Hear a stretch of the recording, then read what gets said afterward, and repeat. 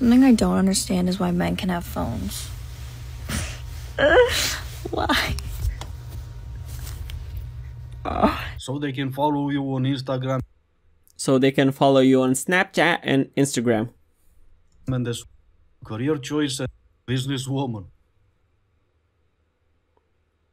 Men do not want a woman that needs them. Men want a woman that wants them. There's a huge difference there. The woman who needs a man expects him to provide and pay for everything because she can't provide for herself. These are the same women who have no job, no source of income, and they try to flip the script on men and try to make them feel inadequate, saying they need a man who can provide for both of them off of one income when it's just unrealistic for one. In this economy, excuse me, they're like, I don't need a job. I need a man who makes enough money for the both of us. Are you hearing yourself right now? When a woman has her own money, has her own job, then the man knows that he's not using him because she has nothing. When you're broke, you need a man to live, to survive. She might not even love you. She might just like what you can provide or what you do for her. Trying to finesse men for their money. A real woman doesn't need a man, doesn't need you. She wants you. You are still saying the uh, repeating the same talking points over and over again. Like a real woman does this, and a real woman's like, why? Why are you so obsessed about what a real woman does and thinks and all that stuff? Who are you to decide what a real woman actually does want and need? And Ladies, this is a hard truth, but if men can plan D Day, they can plan a date. Air, land, and sea invasion, 150,000 troops, 5,000 ships, men coordinated, all of that.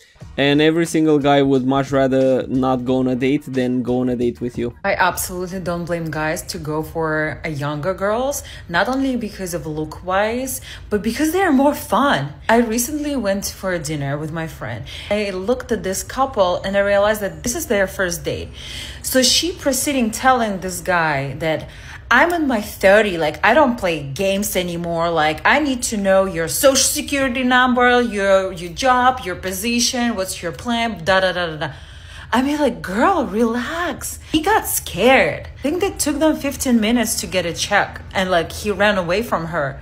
I just turned 30, and I understand, like, you want to be strategic about your dates because you don't want to waste your time. But, like, listen, guys are spoiled nowadays. Be fun, be be normal.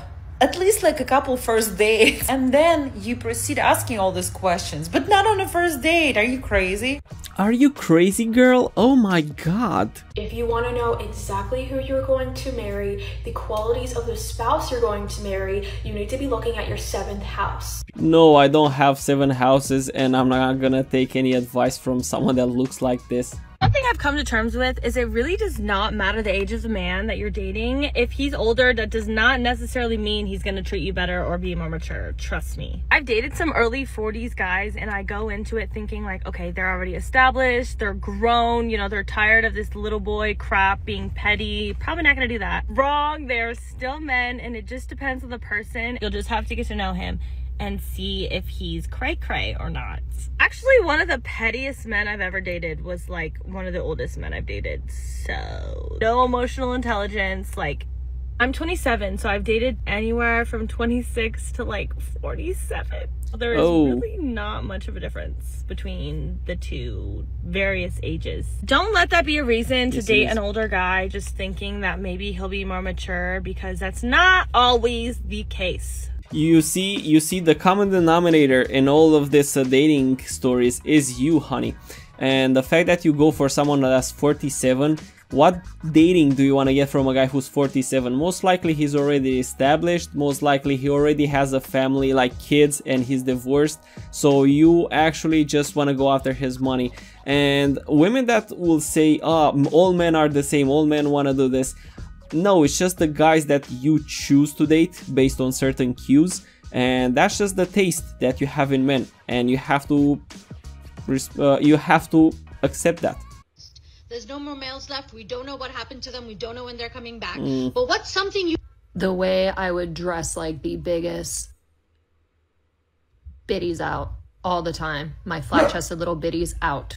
I'd sleep with my windows cracked. I live on the first floor in an apartment. There's no bars on the window. I can't do that now. I'd walk my dog all hours of the night. I'd also listen to my music full blast while I was walking so I didn't have to be aware of my surroundings. I would sit in my car in an empty parking lot. I'd also sit in my car and take my sweet time getting ready to go when I'm at the gas station. Speaking of the gas station, I would go with a full beat every time I went. I would drink more, I think, especially in public. I'd wear a bathing suit top when it was really hot out.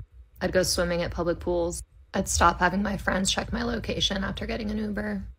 I would kind of just exist, to be honest. Honey, are you okay? Like, when was the last time a man, like, hugged you?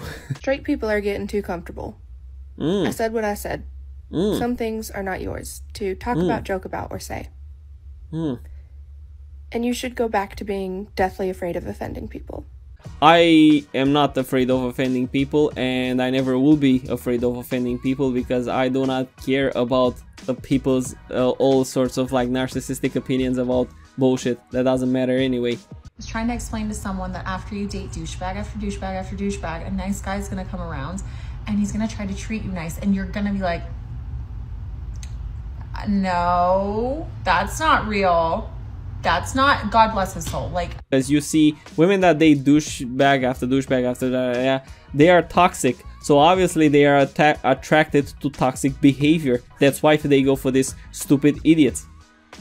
And when they see a good guy, they find that repulsive. I got a new beauty blender in today. It looks like this. From the other reviews, they say you're supposed to just like hmm That's exactly what you you, mean to doing. tell me that all these years I've had my very own built-in beauty blender, and I'm just now finding out about it? Yeah, I do have like uh, three of them colored. Let's check them out.